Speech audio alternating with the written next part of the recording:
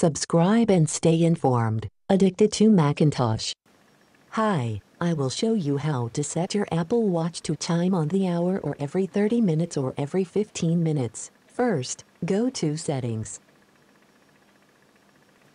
At Settings, go to Accessibility. At Accessibility, scroll way down to Chimes.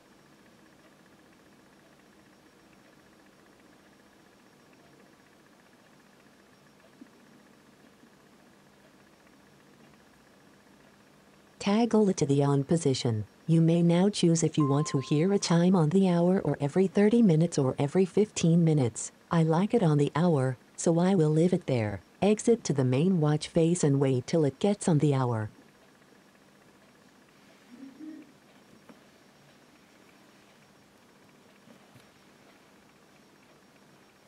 Hope you enjoy this video. Have a nice day.